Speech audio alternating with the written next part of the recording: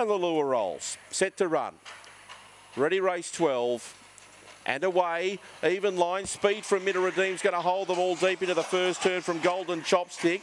Trying to get across was Ludo Bagman. Gets in front of Yannick Bale. And then came Dundee Cotton. Deeper on the track was Savannah Wright from Tough Tears. And Aragog's at the rear of the field. But the leader was Redeem. Three or four clear, but running on strongly now was Ludo Bagman. Around the outside of Golden Chopstick. Yannick Bale's trying to run on. Redeem's been bumped by Ludo Bagman who won't concentrate. Redeem fights back. Oh, maybe maybe Ludo Bagman's fought back and won here in a messy finish. Third across the lines, anyone guess? Golden Chopstick and Yannick Bale. On the rail was Tough Tears from Dundee Cotton.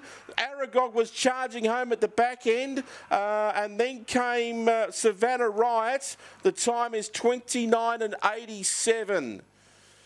Oh, this has got real messy at the back end. And I thought Redeem was going to kick back, but in the end, Ludo Bagman's pulled it out of the fire and won. Four is first. Ludo Bagman beats Minter Redeemed number two, and Yannick Bales got third, number three. Four, two, three, and five are the numbers on the last in a very messy finish.